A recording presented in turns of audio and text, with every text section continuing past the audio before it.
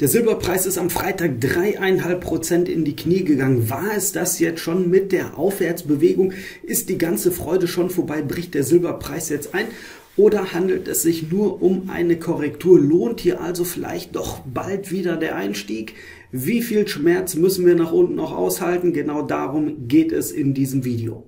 Um die Lage vernünftig zu sondieren, müssen wir wieder auf Big Picture Basis anfangen. Also wir gucken uns den Wochenchart im Silber Future an. Warum den Future anschauen? Einfach weil es ein real gehandelter Markt ist mit tatsächlichen Käufen und Verkäufern und ähm, äh, mit tatsächlichen Umsätzen, die da getätigt werden. Alles spielt sich in einem Orderbuch ab. Und das heißt, da ist Angst und Gier spiegelt sich in diesem Chart wieder. Und genau das versuchen wir ja mit dem Chart einzufangen. Die Psychologie der Marktteilnehmer. Sind die Käufer in der Oberhand, sind die Verkäufer in der Oberhand? Und wenn ein Markt um dreieinhalb Prozent fällt, na, da kann man natürlich auch erstmal denken, um Gottes Willen, die Verkäufer haben hier auf jeden Fall das Ruder in der Hand. Das war natürlich auch kurzfristig der Fall. Aber jetzt müssen wir gucken, wann wendet sich das Blatt, beziehungsweise was ist überhaupt vorher geschehen. Und dazu der Blick hier auf die letzten Jahre, müssen wir sagen. Da hat sich der Silberpreis nur seitwärts bewegt. Und vor allen Dingen haben wir zuletzt im Bereich 26 US-Dollar gesehen, dass dort immer wieder Verkäufe aufgetreten sind. Hier auch schon gab es einmal so ein kleines Überschießen, dann aber im Bereich 26 Verkäufer, Verkäufer, Verkäufer aktiv gewesen. So, und jetzt sind wir aus dieser Seitwärtsbewegung, sind wir nach oben ausgebrochen, haben hier das letzte Verlaufshoch angelaufen und dann haben wir das gesehen, was wir an der Börse ganz häufig sehen, was jetzt wahrscheinlich bald auch wieder zu tragen kommt, nämlich dieses alte Widerstandsniveau im Bereich 26 wurde zur Unterstützung, das gucken wir uns gleich auf Tagesbasis nochmal an, da wird es ein bisschen klarer deutlich sichtbar. Da, wo die alten Verkäufer aktiv waren, da werden Käufer aktiv. Das ist einfach Natürlich nicht immer so, aber häufig genug, um daraus am Ende des Tages einen Profit schlagen zu können. So, das wird angetestet und mit dem nächsten Schub nach oben. Und da sehen wir diese dynamische Bewegung, diese Aufwärtsbewegung. Klar, da sind die Käufer aktiv. Warum? Na, weil sich dieses ganze Gebilde, was sich über mehrere Jahre gezeigt hat, das wurde jetzt aufgelöst. Jetzt ist quasi neue Zeitrechnung gekommen. Jetzt sind wir im Aufwärtstrend. Und im Aufwärtstrend müssen wir gucken, dass wir möglichst aggressiv in den Markt einsteigen. So, und jetzt haben wir zuletzt hier das Range hoch, 29 bis 30 Dollar, überwunden. Und jetzt stehen wir ja kurz davor wieder. Und jetzt gucken wir, was ist hier passiert? Was ist wahrscheinlich, was hier im Bereich 29 bis 30 passiert? Nämlich, dass dort die Käufer wieder aktiv werden wo früher die Verkäufer aktiv waren, auch hier werden wahrscheinlich die Käufer aktiv.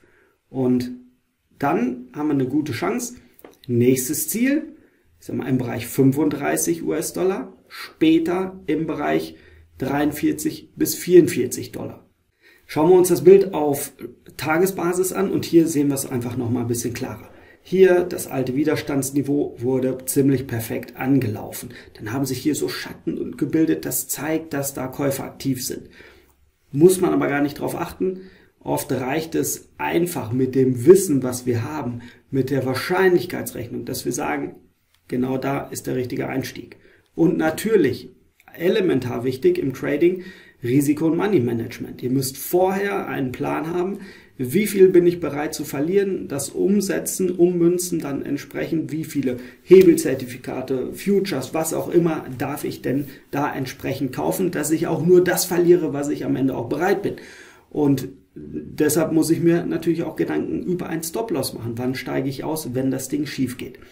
So. Und hier diese Bewegung nach oben, wieder sehr dynamisch. Große Kerzen, gestiegenes Handelsvolumen. Insgesamt sowieso bei dem Ausbruch da müssen größere Kräfte am Werk sein.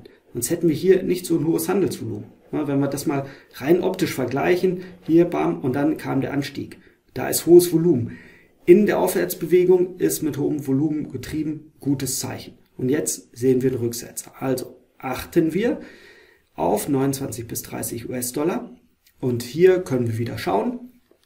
Schatten unten zum Beispiel, Umkehrsignale auf Candlestick-Basis kann man nutzen, um hier in den Markt einzusteigen. Man kann auf kleinerer Zeiteinheit gucken, wie sich dort der Markt verhält, ob man schon sehen kann, zum Beispiel auch mit einem kurzfristigen Abverkauf in diesem Bereich, hohes Handelsvolumen nach unten oder einfaches Vertrauen sagen, das hier ist die Sweet Zone. Da ist es interessant, in den Markt einzusteigen und Potenzial nach oben haben wir ebenfalls genug. Schauen wir uns den Goldpreis an. Die gehen ja, Gold und Silber gehen ja ungefähr Hand in Hand. Und auch im Goldpreis haben wir die dynamische Aufwärtsbewegung gesehen und jetzt sind wir in der Korrekturphase. Ja, wir haben zuletzt dieses Verlaufshoch so minimal überschritten, das ist aber jetzt überhaupt nicht dramatisch. Denn so eine Korrekturphase, die dauert einfach immer länger. Da brauchen wir nur hier zum Beispiel schauen. Hatten wir auch ja, so, einen, so einen ersten Versuch im Goldpreis auszubrechen. Dann ging es erstmal wieder noch ein paar Monate seitwärts, bis dann der tatsächliche Ausbruch gelungen ist. Und auch so müssen wir jetzt damit rechnen, dass wir uns einfach noch ein paar Wochen, ein paar Monate seitwärts bewegen. Und ein schönes, markantes Einstiegsniveau ist in der Range und es kann aber auch gut sein, dass, es, dass der Kurs noch ein bisschen tiefer läuft. Deswegen sollte man hier den Stop-Loss jetzt nicht zu eng setzen, ne, direkt unter der Kerze, sondern hier müssen wir dem Markt ein bisschen Luft geben zum Atmen. Das Tief kann noch mal leicht unterschritten werden und ich gehe davon aus, dass es wirklich nur leicht unterschritten wird. Aber hier im Goldpreis, ich sag mal im Bereich 2280, gute Chancen, dass sich der Markt da wieder hält und dann Richtung Range hochläuft. Und vielleicht sehen wir dann noch mal einen Ab Tasten der unteren Marke. Aber das wissen wir vorher nicht. Schauen wir uns die Minenaktien an und auch die brauchen eine kleine Verschnaufpause, beziehungsweise das zeigt uns das Chartbild. Und jetzt geht es ja wieder darum, wo können wir denn Positionen aufstocken, wo können wir Positionen aufbauen, wenn man noch keine hat. Vom Bereich, ich sag mal 25 bis 27, schöne dynamische Aufwärtsbewegung. Da, wo vorher die Käufer aktiv wurden, wurden sie damals ja hier auch Anfang des Jahres. So, bam, Aufwärtsbewegung. Dann haben wir im Bereich 32 bis 33. Hier war Widerstand, wurde zur Unterstützung und dieses Niveau, das kann nochmal gut angelaufen werden. Also wir müssen hier nochmal ein kleines bisschen Schmerz aushalten. Und hier haben wir aber eine gute Chance, dass sich der Markt dort fängt und wieder nach oben abdreht. Negativ wäre es, und da muss man sich ja auch immer Gedanken machen. Mal ein negatives Szenario aufstellen. Nicht jetzt all in äh, investiert sein und dann nicht wissen, wie steige ich aus der Position wieder aus. Dieses ganze bullische Szenario, was wir in den Edelmetallen haben und jetzt natürlich auch in den Minenaktien, das fängt an zu bröckeln. Das wird ja schon hinfällig, wenn wir hier unter die 32 fallen. Also mal ein Tages- oder Wochenschlusskurs drunter. Dann müssen wir einfach klar eingestehen und sagen, puh, so richtig bullisch sieht das Ganze jetzt nicht mehr aus. Also immer Plan machen, positiv, aber auch für negative Entwicklung. Sehr spannend auch das Platin, aktuell sogar, denn hier haben wir im Grunde eine ziemlich große breite Range und da sind wir jetzt in der Mitte der Range ja, Mitte der Range, Mitte des Teichs, da ist es nicht optimal zu fischen. Und äh, hier müssen wir so ein bisschen, hier brauchen wir ein bisschen mehr Fleisch am Knochen, um hier tatsächlich eine schöne Entscheidung treffen zu können. Aber wir hatten zuletzt gesehen, im Bereich 1000 bis 1000 bis 1030 US-Dollar roundabout, da war Verkauf, Verkauf, Verkaufsdruck, Verkaufsdruck. So, jetzt wurde das Niveau überschritten. Käufer haben ordentlich Stärke gezeigt Jetzt wird es wieder angetestet. Und wie geht der Spruch noch? Wechselnde Polarität, alter Widerstand wird zur Unterstützung. Käufer werden hier aktiv. Dieses Tief, also ich sag mal 1020, haben wir eine gute Chance, dass das nochmal unterschritten wird. Und das hier unten ist die Sweet Zone, da müsst ihr gucken. Hier kleine Umkehrsignale und wir haben eine gute, ein gutes Chance-Risikoverhältnis im Platin. Irgendwie hier drunter will ich den Kurs nicht mehr sehen. Aber dann haben wir mal, das Risiko und die Chance nach oben. Chance-Risiko-Verhältnis kann hier gut, sehr gut passen. Und jetzt mal noch der ehemalige Liebling, äh, Palladium. Hier sehe ich, dass wir den Bereich 860 da wäre es optimal, wenn wir den nochmal unterschreiten. Und genau hier müsst ihr drauf achten. So 820 bis 860 Sweet Zone.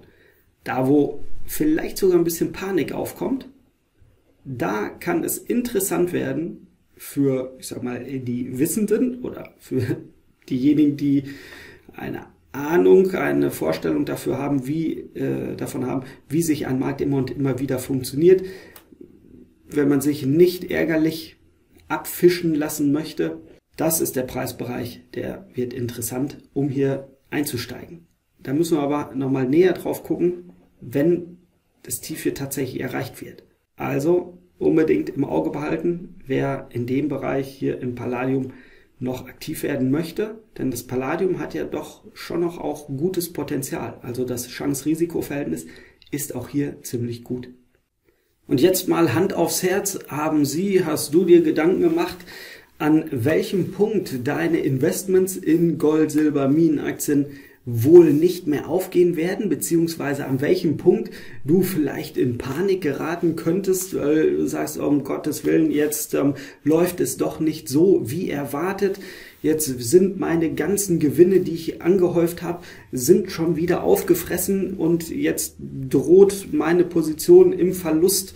Naja, habe ich Angst, dass ich sie im Verlust schließen muss wenn du dich mit diesen Gedanken rumquälst, wenn du dir keinen Plan gemacht hast, sowohl im Profitfall, also wo steige ich denn mal aus, wenn meine, wenn Gold im Gewinn ist, Silber, meine Minenaktien im Gewinn sind, äh, wo steige ich aus, wenn es nicht so läuft, wie erwartet.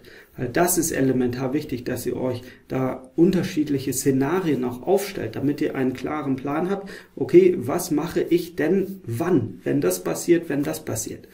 Wenn ihr dabei Hilfe benötigt, wenn ihr Hilfe benötigt, auch, ich sag mal, das Maximum aus einem Trade rauszuholen, zu sehen, wann macht es Sinn, aus einer Position auszusteigen meldet euch bei mir. steinrückenakademie.de. Tragt euch einfach für ein Strategiegespräch ein und dann sprechen wir mal drüber, wie man da so einen Plan aufstellen könnte, beziehungsweise wie auch eine Zusammenarbeit Sinn macht, wenn ich dich dabei begleiten soll, wenn ich dir dabei helfen soll. Denn die Märkte bewegen sich ja immer in ganz ähnlichen Zyklen. An der Börse, die Bewegungen sind immer sehr ähnlich. Und deshalb können wir auf lange Sicht uns da auch einfach schön ein Scheibchen rausschneiden, unser Konto Stück für Stück langsam gemächlich, manchmal auch dynamischer wachsen lassen. Wenn ihr da Bock drauf habt, seid herzlich willkommen.